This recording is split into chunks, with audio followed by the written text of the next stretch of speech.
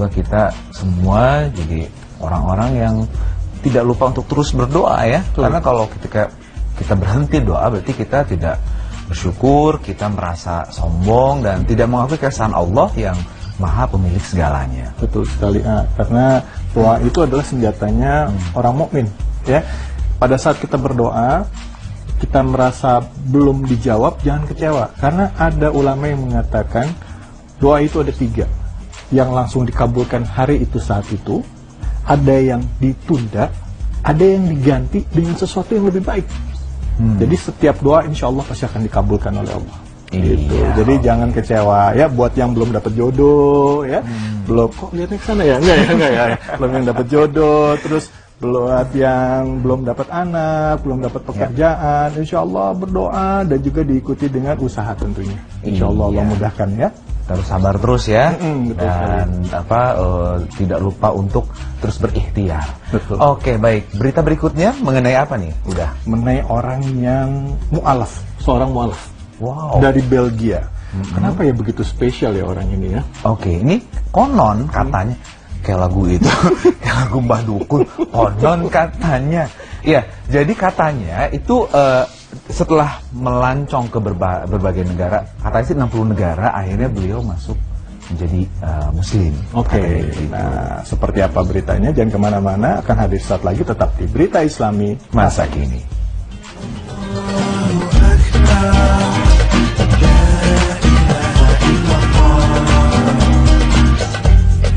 Pemirsa beriman, hidayah sering kali datang tanpa diduga. Ketika Allah menghendaki hidayah itu pada seseorang, maka hal itu pun akan terjadi. Hidayah muncul tanpa pandang warna kulit, suku, maupun ras. Karena seperti kisah nyata berikut ini, di mana hidayah muncul ketika seseorang melakukan safar yang tanpa diduga. Perjalanan yang ia tempuh merubah seluruh kehidupannya selama ini. Berikut pemaparannya. Michael Rupert, seorang pria berusia 29 tahun yang berdarah Belanda Belgia, berhasil mewujudkan cita-citanya sejak kecil yaitu berkeliling dunia. Kini sang traveler telah berhasil mewujudkan cita-citanya, yaitu mengunjungi setidaknya 60 negara. Berawal dari empat tahun lalu, ia berangkat dari rumah mengejar cita-citanya untuk berkeliling dunia. Di antara negara-negara yang berhasil ia kunjungi adalah Turki, Indonesia, Albania, dan Malaysia. Di dalam perjalanan, sering kali banyak hal yang bisa ditemukan dan dipelajari, seperti apa yang dialami oleh Michael. Selama di dalam perjalanannya, salah satunya Michael menemukan Islam. Michael banyak berinteraksi dengan masyarakat Muslim yang menunjukkan sifat ramah dan penuh kasih sayang. Karena memang seperti itulah Islam. Seperti yang disebutkan di dalam hadis, barang siapa menjadi pelopor suatu amalan kebaikan lalu diamalkan oleh orang sesudahnya, maka akan dicatat baginya ganjaran semisal ganjaran orang yang mengikutinya, dan sedikit pun tidak akan mengurangi ganjaran yang mereka peroleh. Sebaliknya, barang siapa menjadi pelopor suatu amalan kejelekan lalu diamalkan oleh orang sesudahnya, maka akan dicatat baginya dosa semisal dosa orang yang mengikutinya tanpa mengurangi dosanya sedikit pun. Hadis riwayat Muslim 1017. Di dalam hadis tersebut dijelaskan bahwa sesungguhnya pahala bagi yang mengajarkan kebaikan sama dengan orang yang mengerjakan. Seperti yang terjadi dengan Michael, belajar mengenai Islam dari kebiasaan-kebiasaan yang dia lihat dilakukan oleh orang tua angkatnya. Dalam perjalanan yang dilalui, Michael menemukan Islam. Ketika itu ia menyaksikan sebuah kebiasaan yang tidak pernah dilakukan olehnya selama seumur hidup.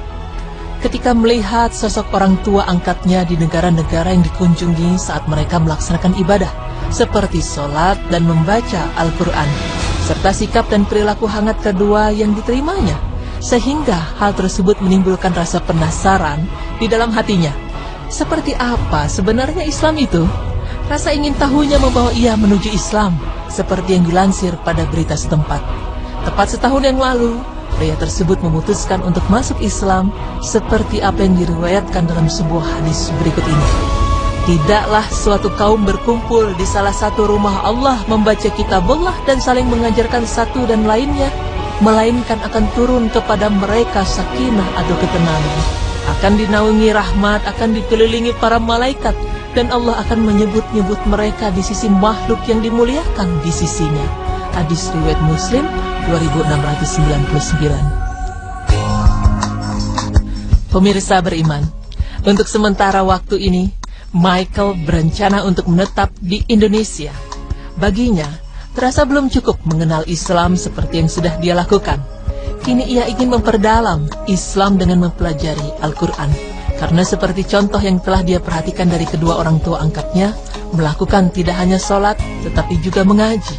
Bahkan hal seperti ini telah disampaikan di dalam sebuah hadis yang berbunyi, ada seseorang yang sedang membaca surat Al-Kahfi. Di sisinya terdapat seekor kuda yang diikat di rumah. Lantas kuda tersebut lari. Pria tersebut lantas keluar dan melihat-lihat. Ternyata ia tidak melihat apa pun. Kuda tadi ternyata memang pergi lari.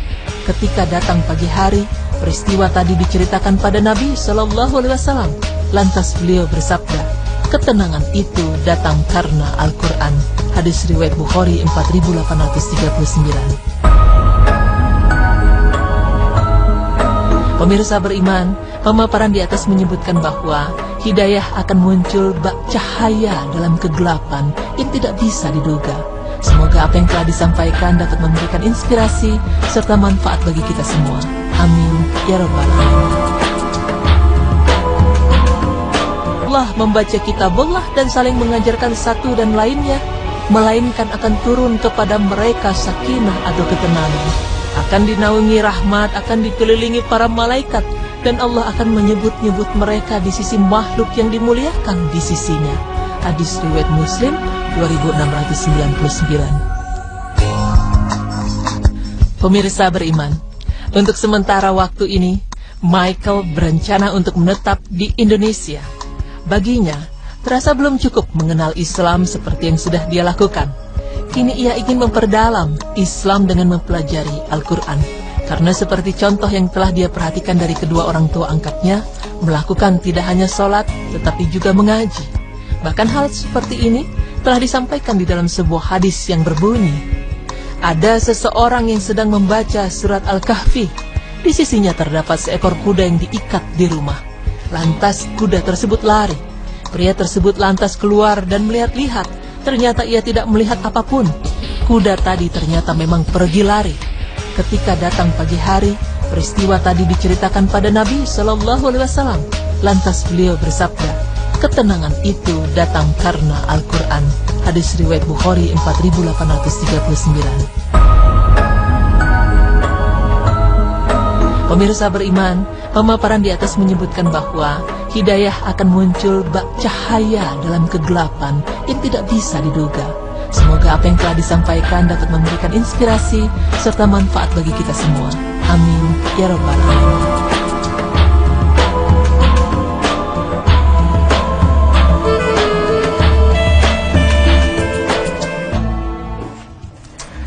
Kita bangga sekali ya dan luar biasa sekali tadi kisahnya karena memang kita nggak tahu kapan hidayah itu muncul Betul. dan yang membanggakan buat kita itu ternyata salah satu negara yang dikunjungi itu Indonesia hmm. dan dari negara kita ini dia jadi terinspirasi katanya hmm. jadi kita juga harus bisa menjaga negara kita negara muslim yang terbesar jadi tidak hanya dari kuantitas tapi kualitasnya juga kita tingkatkan betul sekali dan bahkan Indonesia sebagai Islam mana sebagai mayoritas hmm. di situ uh, jadi satu kebanggaan juga karena sering kali menjadi rujukan bahwa hmm. Islam itu damai. Contohnya di Indonesia. Yeah. Banyak ya orang-orang dari Amerika itu mereka hmm. selalu melihat bahwa lihat di Indonesia damai, uh, toleransi antar agama yeah. bisa terjaga dan lain sebagainya. Ya harus kita jaga seperti itu.